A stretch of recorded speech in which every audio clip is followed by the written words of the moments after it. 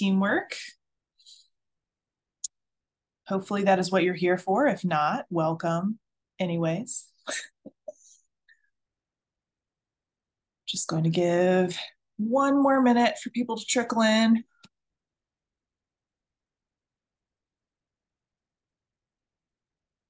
Ooh, discovered a new thing.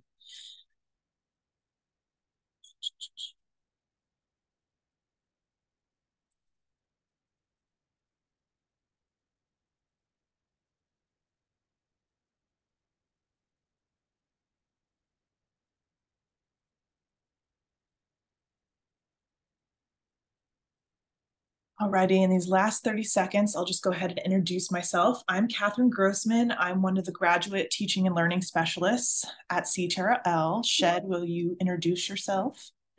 Hi, everyone. My name is Shed, like the thing in your backyard. I go by she or they pronouns, and I am a teaching and learning specialist at the CTRL. Wonderful.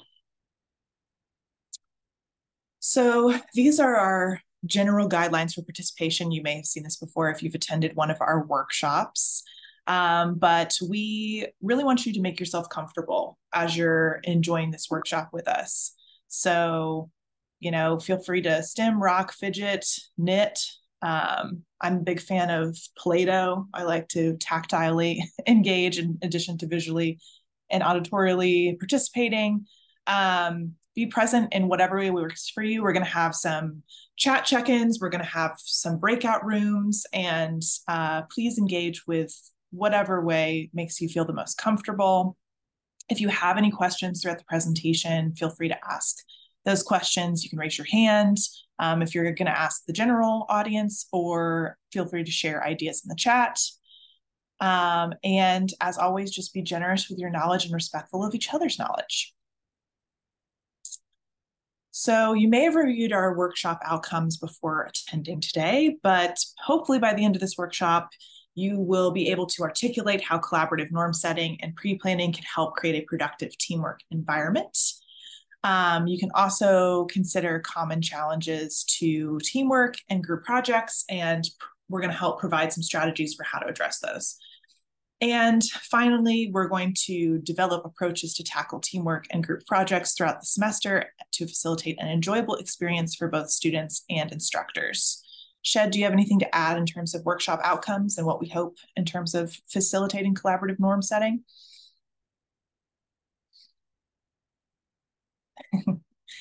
All right, well then to kick things off, we're gonna do a quick warm-up chat. So if you, as you contribute, just throw your information in the chat. Feel free to introduce yourself and share your pronouns. And our question is, what is a primary student challenge that you've encountered in group work or teamwork? What's something that your students have shared with you that has been a challenge?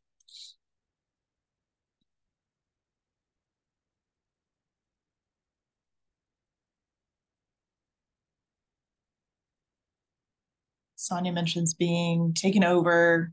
So one student being dominant, delegation can be an issue.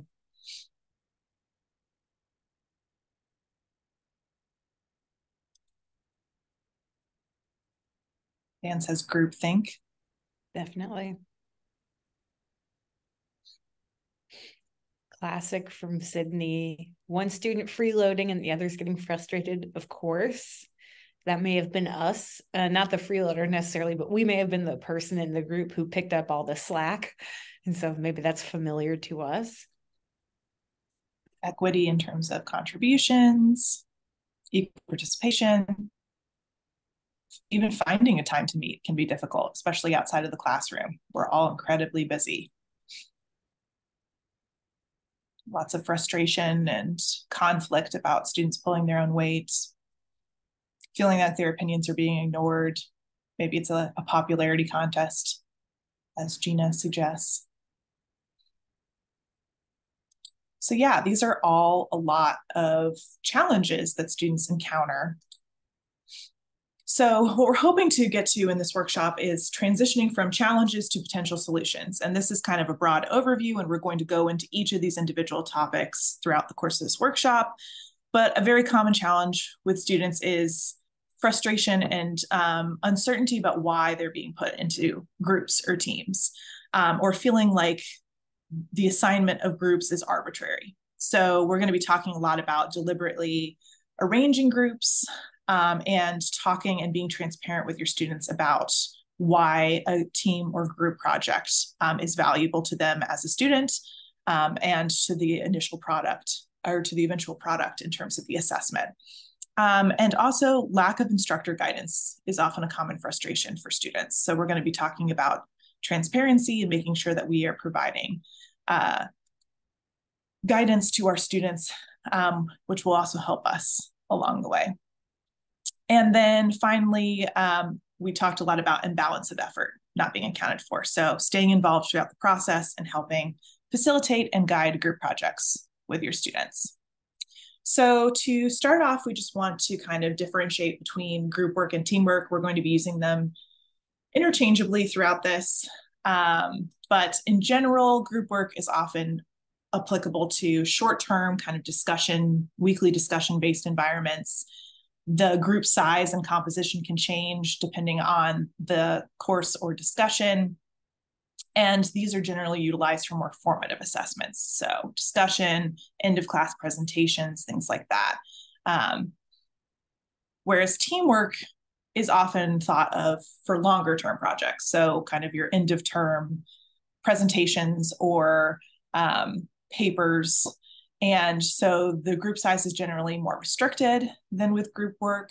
Um, the composition is generally consistent. So it's something that is set early on in the semester and then continues throughout and is generally utilized for more summative assessments. So finals, um, team projects, things like that.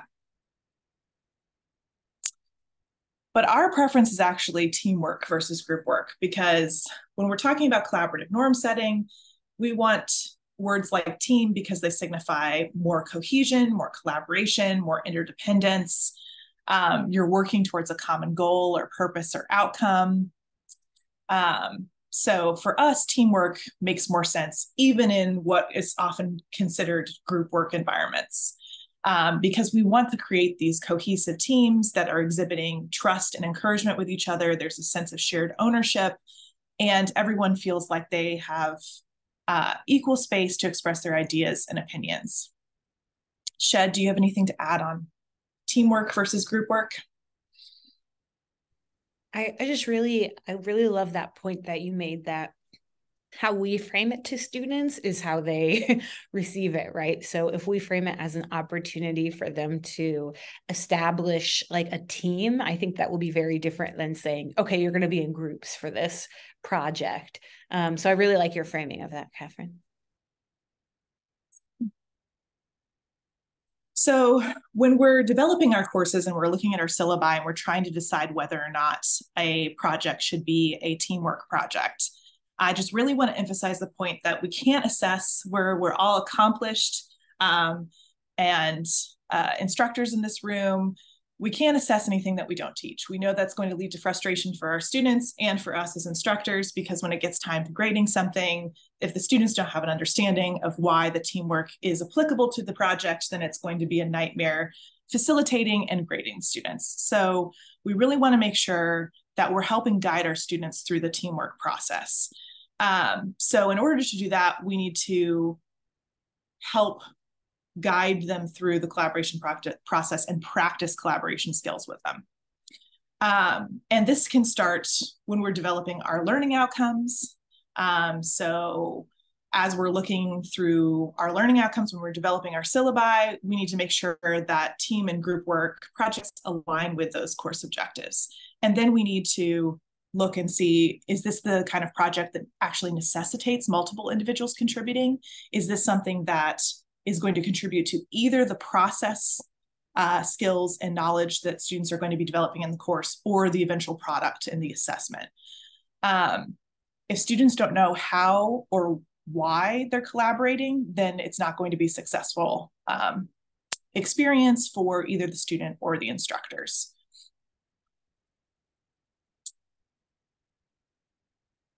So in line with this, our chat check-in is asking you to recall a positive teamwork experience. So what was a positive experience that you had in a team environment and that can be something to model and express to your students in the classroom.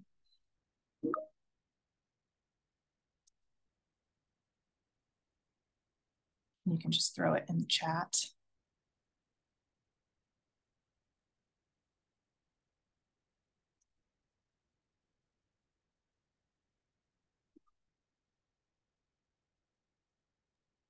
I love this point. Oh, sorry. Did I speak? No, no, no, Shed. sorry. Different members contributed with their unique and different strengths. I love that. I mean, that's what we want our students to do, right? Um, works and commissions trying to solve a particular problem. Yeah, mm. yeah, a, a common goal. I think is is another way to think of that. That's an excellent point. See what some other folks think. Um, assigning different roles within the study. It's a great approach. Absolutely. And also feeds into what Sahil said in terms of catering to different skills and knowledge. I hope everyone's able to remember a positive teamwork experience. It could be from any time. Mm, common goals again. Love that and also connecting to course objectives and outcomes. These are things that they're going to experience outside the classroom. And it's a the classroom can be a safe and productive place to practice and model these skills and objectives. To-do lists and learning how to delegate. It's a practice I, I continue to work on. and then Mac talks about setting expectations for how to work together. So this this goes back to collaborative norm setting and teaching students how um, to productively work together. Fantastic. Well, I'm going to hand it over to Shed to talk about benefits of teamwork. Yeah, and I love these. Yeah, uh, some folks organizing CTRL events. Yes, absolutely. We love working with you on that. If you have the chance to join us, we we would we love working with you on that. Working on a team worksheet. I love that idea, um, Michelle. We're going to talk a little more about about exactly that. So I'm glad you brought that up. So these are probably more obvious to us, but I think it's useful. Sorry, I just caught a gnat in front of my face. okay. Um, uh, to review some of those benefits of teamwork, which might be good for us to share with our students. So, of course, creating a sense of community and connection among that group, um, stimulating and encouraging creativity, allow students to share diverse perspectives and approaches, which is part of why we want them to work together, right? To negotiate through that productively. Um, it can lead to more thoughtful, nuanced, and complex pro- products or projects and of course, it helps students build skills valued by employers. So we all have to work in teams in our professional lives in one way or another. So we want students to build those skills before they enter the workforce. Um, so how do we set teams up for success? So Catherine has already mentioned some of these components, but we're going to break them down and go through how to enact each of them. So first, deliberately numbering and arranging groups is going to be really important. Not that there's a magic number, but rather um, making an informed decision based on the context of your class. Practicing transparency, always an excellent pedagogical strategy. Staying involved with your students' groups and including opportunities for assessment and reflection from your students. So let's break each of these down um, into strategies. So let's start with deliberately arranging our groups. So we want to make sure that the number of students in each group is based on the assignment type and the expectations you have of them. Most research tells us that two to six students is a good number for a group, and that six is basically the maximum. The reason being, when you get more than six people, it's very hard to balance everyone's voices and time and needs. It just becomes kind of a, what do you say, dog and pony show? it becomes a mess, right? Um, so um, you can set group size limits in different platforms, like on Canvas, you can arrange groups by size. Um, on Zoom, you can create breakout rooms based on the number of people, etc. Um, and uh, so, what does the project need? How many students should be working together on this type of project? And then, what kind of roles can they use? So, students consistently tell us they appreciate when they are offered roles, and that allows everyone to have very clear goals and contributions. If everyone picks a role, then they know exactly what's expected of them. And it's a lot harder for them to say, well, you know, there, we have an extra person who's not doing anything because everyone has a responsibility. And it's easier to reflect on whether you completed that responsibility or not. So, some examples of roles would be recorder, mediator, skeptic, reporter. I mean, it really depends on the assignment you're doing. Um, and students can rotate those roles to practice different skills among the group if time permits.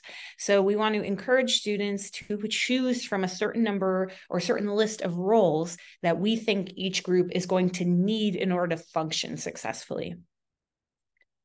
So let's experiment with this idea and tell me in the chat what you think. So, first, what do you think is an appropriate group size for students writing a paper together? What is the range you would put? And remember, we're asking for two to six for any group project, but for, you know, teamwork writing a paper, Mike says two or three. Dan says that they like three. Okay, I'm seeing a trend two to three. Okay, excellent, excellent. I don't think we've put an answer on here, Catherine. But what do you what do you think? I agree. We I would I would recommend on the lower end for papers. Um, I've certainly been I've co-written papers with more than four people, and it, it is a nightmare both logistically and um, narratively. It can be very difficult to combine all those thoughts into one paper. And Catherine, you've pointed out to me in the past if there's too many people writing a paper, they each might just write their own section and then smush it together, which is not really teamwork, right? Oh, I like this from Sonia. Six only if you can break down into two separate subgroups. That's a great idea. So I think we totally agree less people for a paper because of the type of assignment. And then you could do more with right closer to four five six for a filming project because there's way clearer roles that everyone can take. Director producer writer whatever it might be. Um, and there's more you know more people involved is going to actually could actually make filming a short video an easier and more productive process for everyone. So thank you for sharing your thoughts. All right. So we get to this classic question Do we put students in groups ourselves or do we let them choose their groups? The eternal question right? Um, something we recommend is asking your students for their preference. Sometimes they want to be assigned to groups and sometimes they want to choose their own groups. Um, but if you are allowing students to choose their own groups, which we recommend, um, you should highly encourage them to work with others based on a shared interest or topic rather than with their friends. Because we know things get weird when you work on a project with your friend. You may not be so focused and it can mess with your friendship. So, encouraging students to cluster into a team based on the goal, the interest, the topic that they share. And you can offer things like a self sign up option on Canvas where students can voluntarily enter a group. Um, and you could also, if you want to assign students, you could assign them based on things like their prior knowledge, their experience, and their skills. If they perhaps have a shared sense of motivation among that group um, or their familiarity with each other. So, whatever you decide to do, um, what students consistently tell us is they like being grouped or being choosing groups based on the topic that is interesting and the shared goal. We really recommend against randomizing student groups since this is often this often is what leads to a lot of conflict among students is you know a sort of they're put together without really rhyme or reason and that can lead to a lot of conflict. If they're not sharing a goal then that's going to fall apart pretty quickly. Um, so there's a lot of different options for you there. Um, so just something to think about all right. So, a note about equity here. We want to recommend against distributing diverse students among student groups. So, you know, diverse here is actually kind of euphemistic. It represents difference in the class. And so, everyone, you know, there's no people who are diverse. Um, but uh, it's something to keep in mind is we don't want to leave our more marginalized students sort of spread across other student groups. Um, so you might say to yourself you know like well i want all of the groups to have some sense of diversity. I want there to be difference in the opinions in the conversation. But what research shows us is that our marginalized students can feel really unsafe when they're separated from one another. And in those small groups you see the second bullet point student teams often become a venue in which discriminatory behavior and microaggressions are expressed against marginalized students. And so it's really important to allow students to stay with groups identity wise that might make them more comfortable if they're coming from a marginalized position, because being pulled away from that safety of people who share their marginalized identity can lead to a lot of internal and external conflict. Um, so just to read this quote from the Eberly Center, it's important to make sure, oh, sorry, it's important to make sure there's critical mass in every group so that lone members of a particular social category, for example, among race or gender axes, do not find themselves isolated in a group. Um, and then, of course, we recommend collaborative norm setting within groups. So we'll share a little more about that. Um, so uh, sorry. I thought the next slide was about that my apologies that's my mistake. So if you've ever tried norm setting with your students or setting collaborative guidelines it's a great way for students to um, establish their own respectful conduct. And so you might ask your student group to set their own guidelines and how they're going to behave with each other how they're going to behave respectfully how will they resolve it if they disagree or fall behind and let them establish their own sort of norms for their group. And that's going to make them a lot more accountable than if you just imposed norms on them. Okay, so our second facet here is practicing transparency. So, some things for us to keep in mind being mindful when developing the course of how assessments feed into course outcomes. So, if you've ever worried about, you know, students saying, well, this feels like busy work, it's because when students think something is busy work, it's usually because they don't see the purpose of it and they don't see how it connects to the point of the course. So, to avoid that label of busy work, it helps to clarify for students why are you doing this? How does it connect to the course goals? how does it help you learn the skills that are important to the discipline right so be clear with students about why they're in groups and the core skills that they are supposed to be practicing in the group it's going to make it a lot clearer to them what they're doing and why so um, uh, not all real world team situations are the same, right? In our workplaces, we know that each team situation is going to be different. So we don't want to assume that students will use the same teamwork skills in every teamwork context.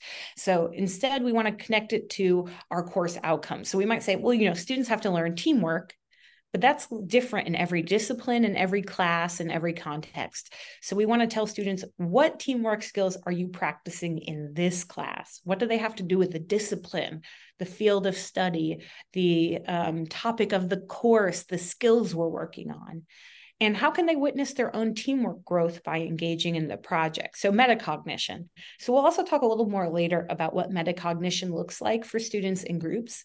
But I do want to keep an eye on the chat. Um, and then Michael makes a great point. If you assign midway through the semester a teamwork project, they're usually sitting with their friends. yes. So, it might be good to try and disrupt that a little bit by asking them to maybe submit a topic they're interested in, like, you know, maybe privately without their friends, and then put students in group based on the topic that they they named. All right a few more points. Yeah, thanks, Mike. Um, a few more points here about practicing transparency. Um, of course, be clear with your students about how they are supposed to conduct themselves in their group. Um, if you don't set respectful guidelines with your students, that's a great opportunity to do it. Um, so, not just encouraging groups to create guidelines, but you working with students to talk about, you know, how should we behave in this class and how should we behave in our groups. Um, make it clear to them how they're going to be evaluated. How will they evaluate each other or themselves? How will you evaluate them? Again, knowing the goalposts. If you know what is being expected of you and how you're being assessed, super helpful, right? It helps with motivation. If it's not clear how group work will connect to course outcomes and the skills students have been practicing, you might reconsider the assignment, right? So it's good for us to ask ourselves, really, with every assignment, why this assignment? How is it helping students practice skills? How is it helping us reach the course outcomes? Yeah, Sahil, please go ahead. Yeah, hi, thanks. I just had a question about yeah. this point about evaluating each other. Um, so I've had my own experience in the past where when I was doing a group project, we were supposed to submit grades for our group members, which are then incorporated into the final assignment grade. And I remember back in my first year of undergrad, we just decided we'll just give everyone full marks without really grading them. Um, more recently, students have told me that they would have liked to see a peer review component, but I'm worried sometimes that creates this sense of competition that uh, among the group, it might be like a punitive thing because they have some control. At the at the same time, it may be a way to control the free rider problem. So I just wanted your thoughts and you know what current research uh, says about peer review components for group uh, for group grading. And I just yeah, I wanted to know what the state of the field is on that.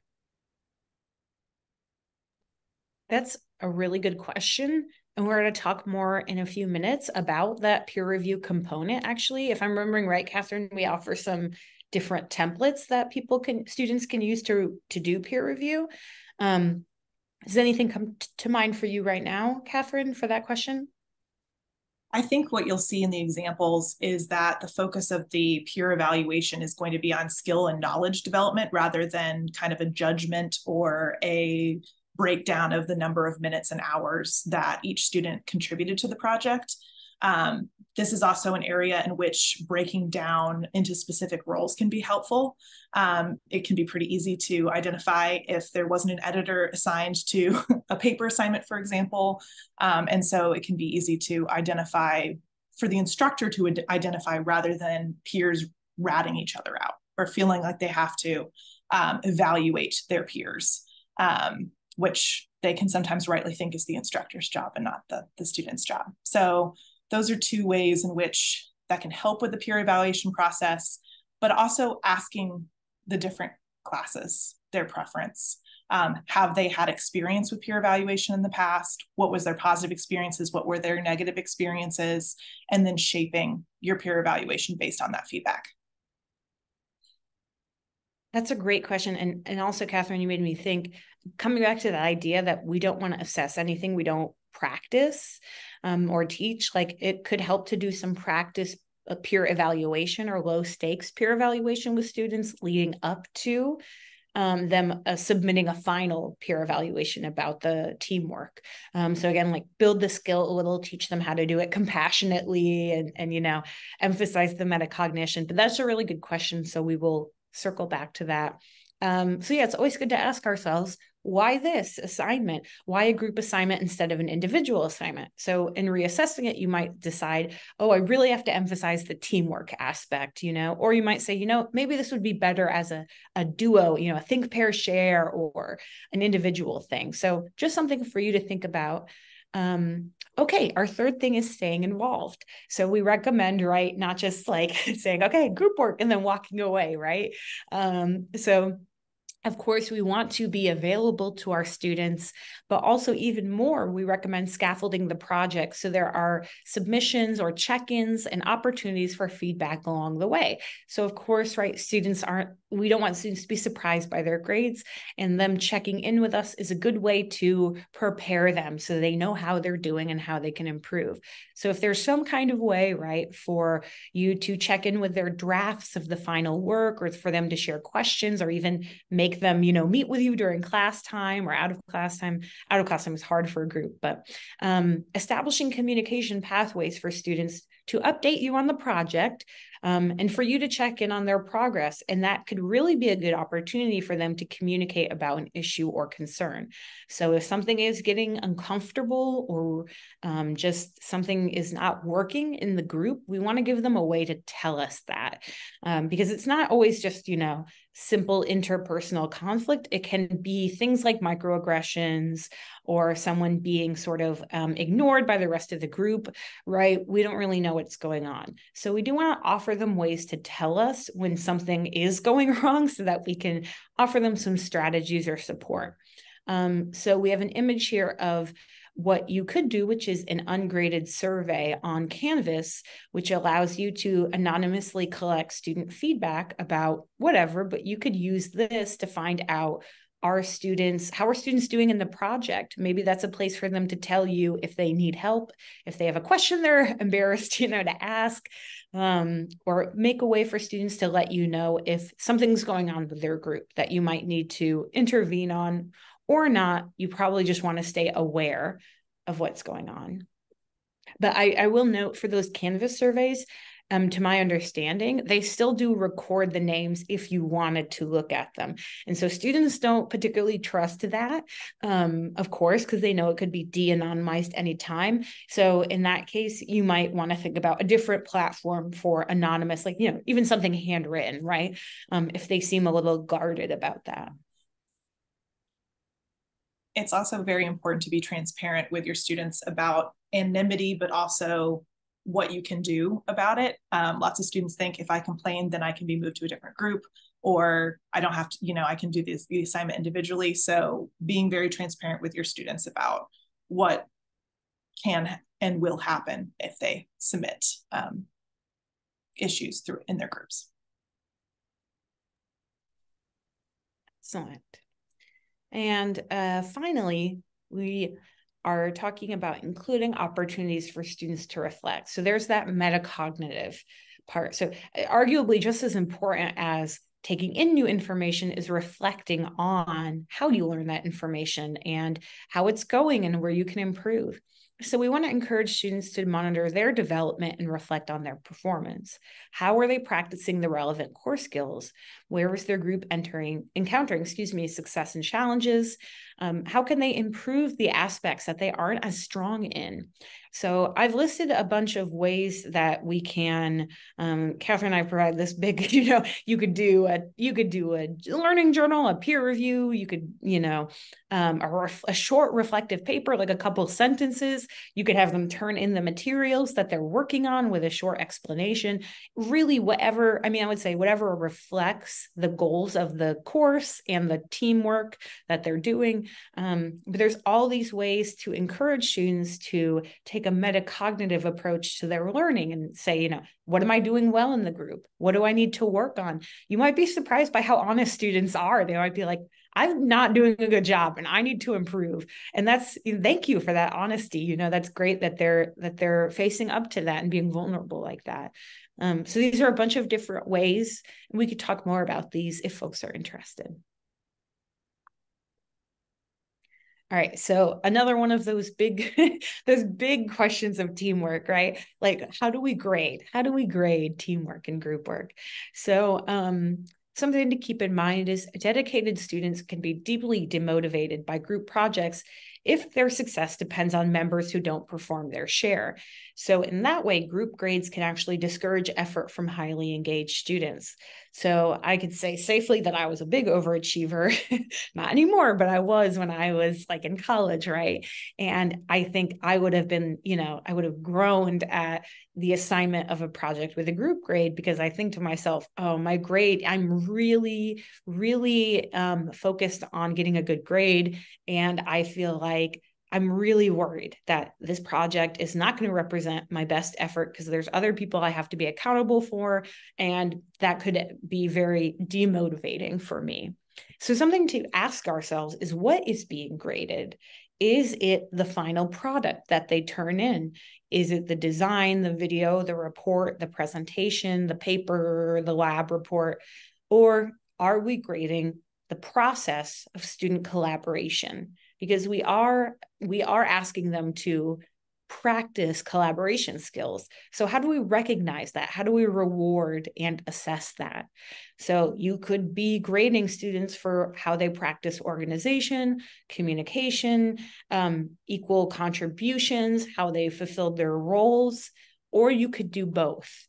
So, there's a lot of options for you here the group the idea for us to reflect on is how can we grade group work while minimizing student anxiety and being fair and equitable to individual student effort um, catherine anything you want to add here Yeah, as we identified at the beginning of the workshop, you know, this is one of the critical questions and the critical challenges of group work is students often feel that it's not equitable.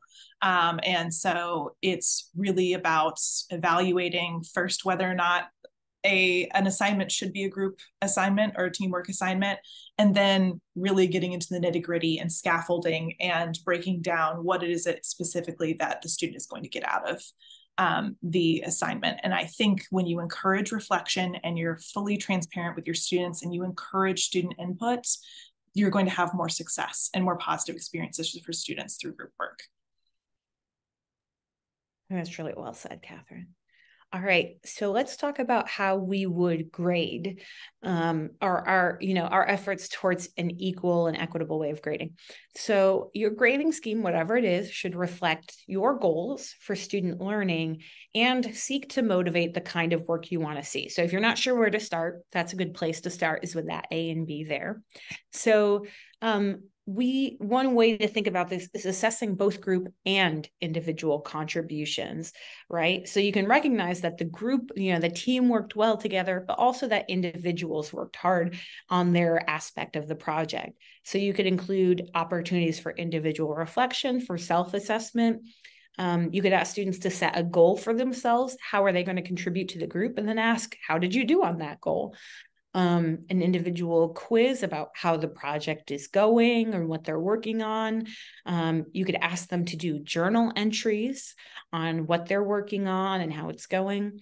And you can also assess the process in addition to the product. So, in addition to saying, you know, A plus on the paper, you could also say, um, you know, measure qualitatively or quantitatively, well, not measure, assess um, the process. So things like, um, you know, the collaboration, the organization. So you could use individual team evaluations of group dynamics as a whole. So the thing that students are assessing in that is not the product that they made and it's not quite their individual contribution it's how they think the group worked together so that's something you could ask them to reflect on that could be really useful for your grading um, you could ask students to do those individual peer evaluations of each other um, or self evaluation of contributions. And again, you might be surprised by how honest students are um, when you encourage them, you know, to, to share how do you think you did? Do you think that you met your own goals? Um, and of course, as always with transparency, we, we recommend making your grading scheme and criteria as clear as possible, whether that be with a rubric, a checklist, a, you know, a very clear description of what you expect of students, um, whatever it might be. And we're going to look at some examples of these different assessment types um, in a second this can rubrics can also speed up your grading process as well because you can literally take that rubric and copy and paste it and then annotate it um, and send it to students. And so you're modeling how you're utilizing that rubric to assess their their assignments. And if you really want to get wacky you can ask the students to build the rubric which is its own thing but is really cool because interesting to see. And they get a little idea of what it's like to build a rubric. It's not easy Um, so we have CTRL student partners here, our undergraduate students who work with us on some of our projects. We're really proud of them.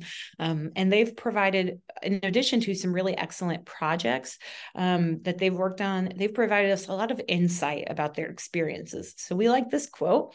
I feel like collective grading only works when you trust everyone that's in your group. And sometimes you don't. I think that the only way that you can like build the trust is through chemistry time and like consistency. So I like this quote um, because, right, the students point out how there's a sort of difference between a team and a group, sort of, right? Um, Catherine, what are your what are your thoughts here? I really love this quote because the focus is on process. And so, so often we're focused on product, we're focused on that final uh, presentation and grade and assessing the students' work individually. And so, this is really talking about ways in which we can assess and grade the process in addition to the product. I really like that. And, and I would say this also encourages us to try to build that trust earlier in the semester instead of asking students to try to build it once they're in a group.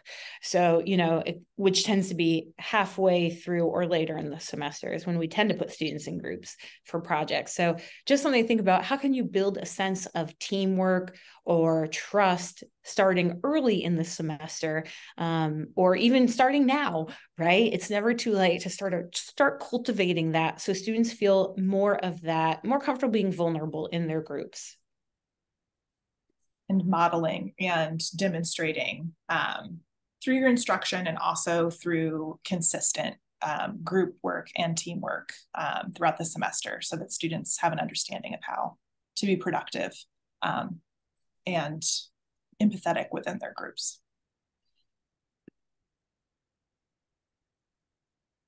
All right, so we are going to switch to a breakout room now.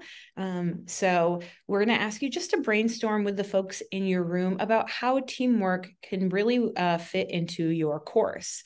Um, so we're going to ask you to think about some of the learning outcomes or major overarching goals for your course which do you think would benefit from group work or teamwork in your in your class? What specific benefits can you convey to students about the value of group work and teamwork to individual projects or the course as a whole?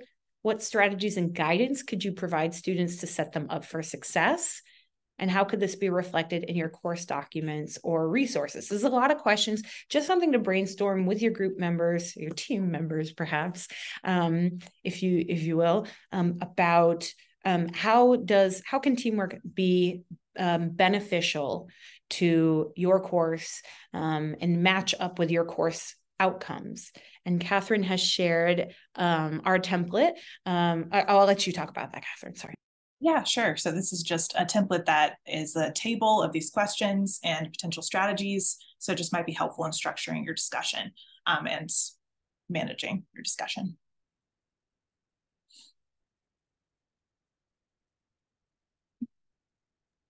All right, so I'm just making sure each room has a, a pretty reasonable number of people. And uh, as long as all of that is clear, um, I'll take a moment for your questions. All right, and we'll open up the rooms and we will see you all uh, in a few minutes. Catherine? Okay. okay. Excellent. We'll just wait until we're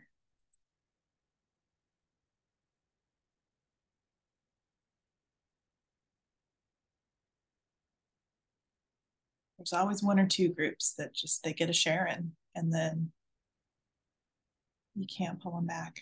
Can't believe it. What are they doing? Sharing insight and really good ideas? All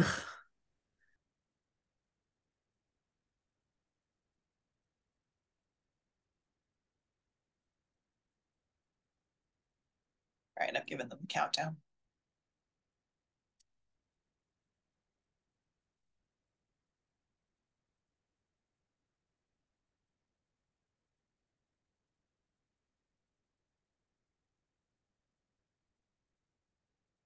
Oh, I've got one of those gnats shed. I thought I caught it the first time and then I caught it again. So we'll see how many more times I'll catch it before this workshop ends. Welcome back you're, as you're returning from breakout rooms.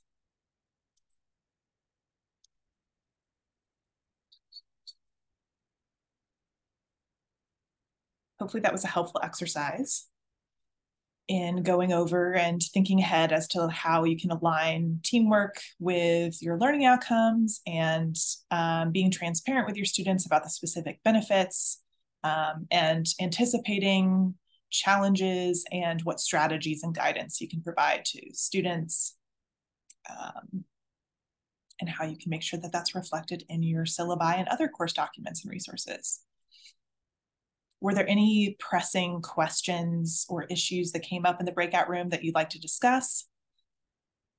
You can throw it in the chat or raise your hand.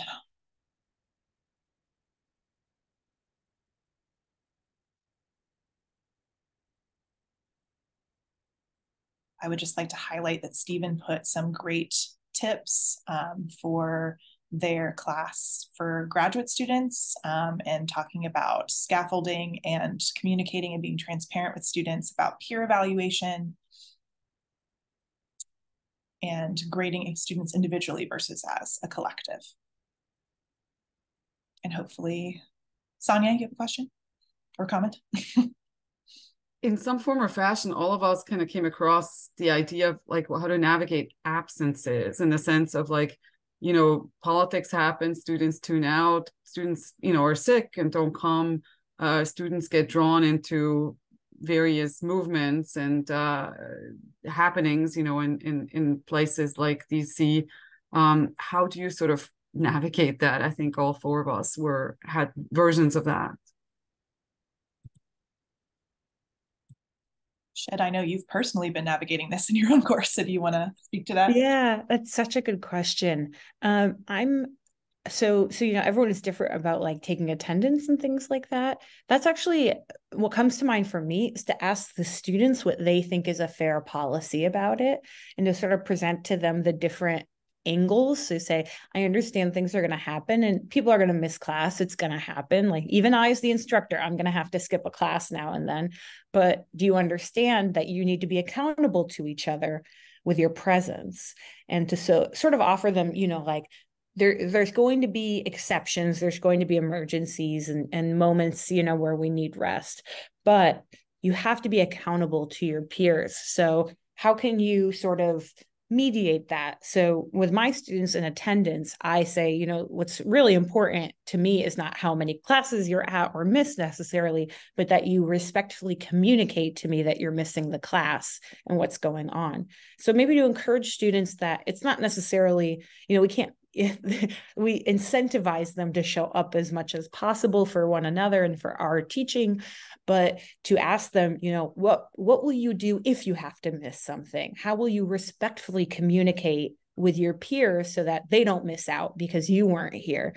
And so that's then what we're asking them to do is um, not necessarily to be there all the time, um, which I don't think any of us expect, but to have a plan of communication and professionalism. You know, if you're in the workplace and you have to miss a day, that you don't just ghost your teammates, right? You need to update them. So I would say maybe framing it to them as a professional sort of responsibility, a scholarly responsibility is to keep your peers up to date and to be accountable for when you miss things. Um, what are your thoughts, Catherine, or any of our other folks? What do you think? Because yeah. this, this, is a very good question. I this is anecdotal, but um, for one of my classes, um, the teamwork and collaborative norm setting was really helpful in that the students felt more um, they communicated better with each other than they did with me as the instructor. So we had a semester long team project and oftentimes, if a student wasn't in class, they communicated that to their team members, but not necessarily to me, the instructor. So I would say, "Oh, I'm so sorry that so and so is absent. You know, please let me know if I can assist in." you know the group work for the week and the student would say oh i've already communicated with my group member and we've already set up a chance to talk about the assignment later this week um, so this is a way in which even if they are not present in the classroom which of course we all hope and want them to be um, present and engaged every time that they're in the classroom, but sometimes building those expectations and being beholden to one another um, can be a very important part of social cohesion and um, you know acting as a team even when you're not in the classroom.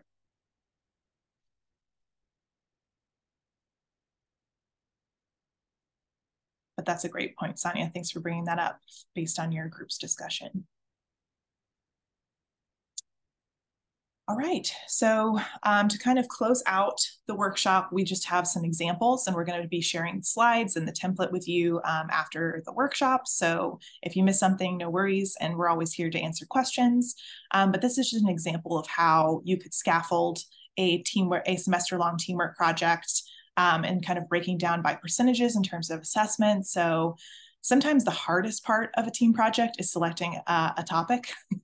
Um, I certainly spent a lot of time individually with students selecting topics for final um, papers and presentations. And so reflecting that um, in your assessment um, can be very important, especially for teams that have differing, that it may take a few weeks of discussion um, for them to settle on a topic.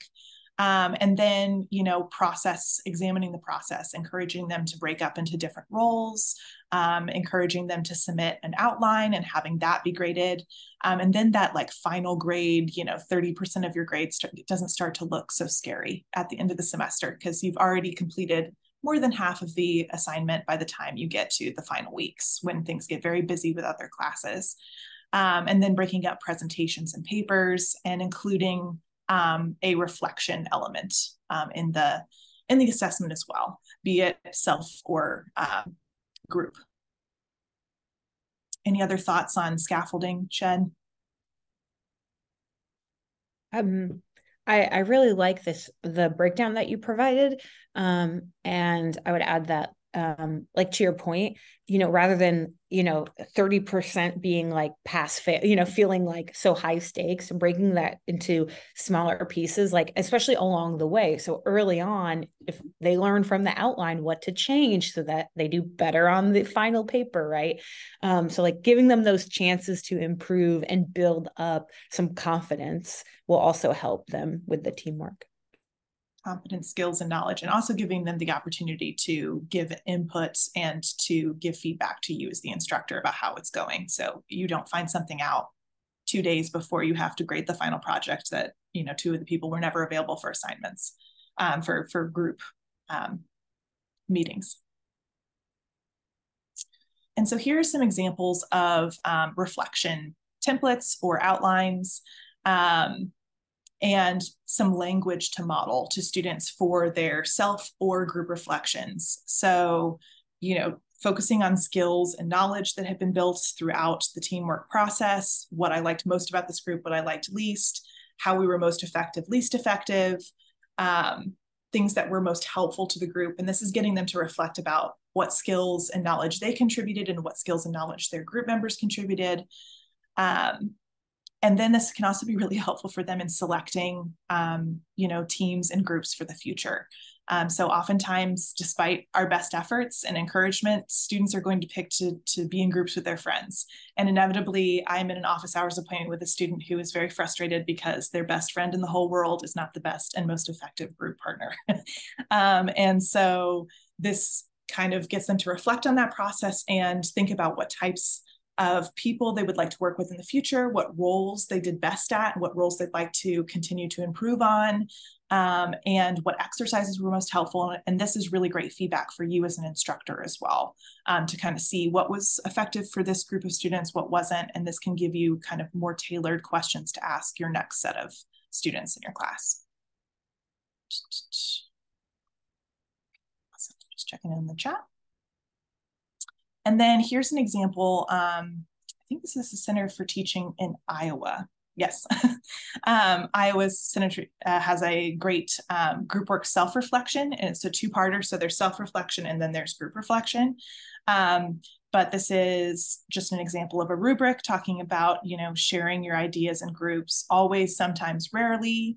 And this can be um, a great way to reflect as an individual about how you contributed to the group um, and what skills and areas you need to develop. Um, I really like the framing of the part two of this, which is that in my group, I am good at. Um, next time, I will try to be better at, and I feel my group was, and in really encouraging them to kind of dig deep and um, examine what specifically about the teamwork process worked and didn't work.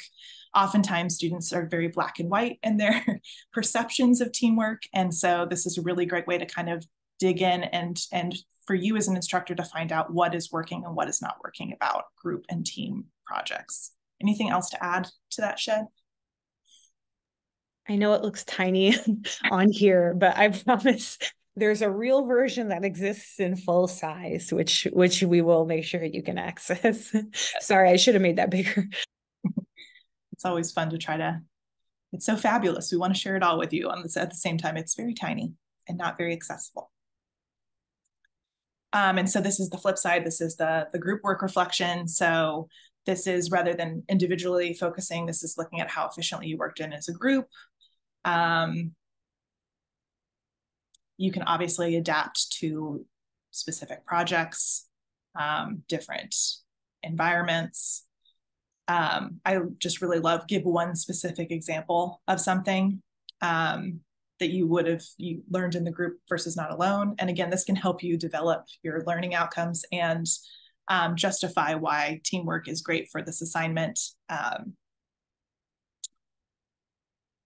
and also thinking of others, you know, what's one specific example of something that other group members learned from you?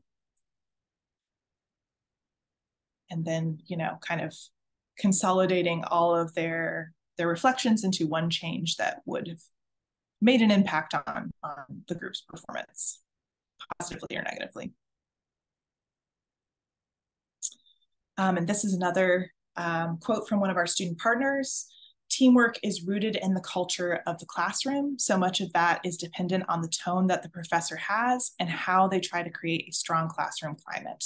It's really helpful to create that community and also make people comfortable with the idea of group work. So this is just a great quote that kind of encompasses everything that we've been talking about in this workshop, really making sure that we as instructors are creating an environment that is productive um, and encouraging of team projects um, and making sure that we are being transparent and are staying involved throughout the process to make this a productive and successful experience for our students and for us as instructors. Anything to add, Shed? That's great. I love this quote. I know. We love our student partners. They're the greatest. So just to kind of some bullet points to sum up, um, and things that can be helpful in terms of creating that environment. Um, facilitate uh, your students getting to know one another. Um, we often do this on the first day of class and then completely forget about it for the rest of the semester. So making sure that's a consistent process. Um, and cultivating and really, you know, digging in and creating a conversational and casual dynamic in the classroom. Um, and making sure to integrate active learning um, to keep your students engaged, and also to um, help facilitate um, a group work environment um, and helping guide students through norms for discussion and collaboration before we assign group work. So this isn't something that we do once we assign group work. This is something we do even before it begins. Um, and really getting student input in terms of assigning roles, um, creating groups, and um, getting feedback from our students throughout the process to help um, them be successful. Anything else, Shed? All right, so our final reflection for y'all is to think about one strategy. So we're same with group reflection. we're going to ask you as, as a group to reflect what's one strategy from this workshop that you hope to utilize in your courses. Um, and you can just throw that in the chat. And I believe Yes. So, yeah. and then, of course, if you have any questions or comments, we would love to hear from you. And Lindsay, I shared a feedback survey in the chat. Um, yes, team worksheets, I think, are so such a good idea. More intentional group making. Love reading that. Love hearing that. Um, reflection questions. Awesome. I know I can work better on like um, students establishing trust with each other. So mm-hmm. like that's something that I need to work on like earlier in the semester with my students, but there's still time, right? Like there's still time to do lots of things this semester. So yeah. Yeah. Mm. Being more intentional and transparent about peer reviews. Love that. Yeah. Ask and discuss with them. Yeah. A welcome. Yeah, exactly. Like um, you know the best thing we can do is create an incentivizing you know um, environment for students to come into to create you know a, a welcoming space that they're excited to come to and they're not always going to take the invitation but a lot of them will and they'll be excited too um, so yeah thank you for sharing that lindsay's put the the link to the survey um, just like we encourage y'all as instructors, we as CTRL team members really love your feedback. So please take a moment and fill out that survey so we know what to do better for next time.